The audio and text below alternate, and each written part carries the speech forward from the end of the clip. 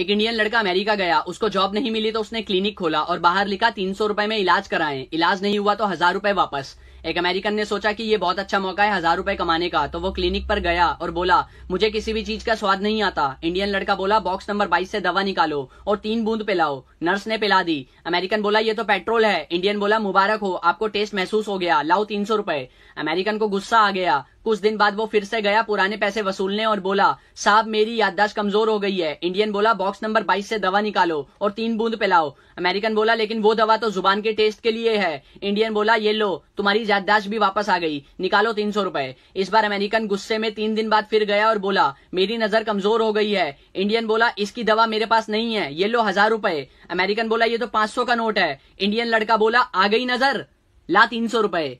East और west India is the best. 谢谢。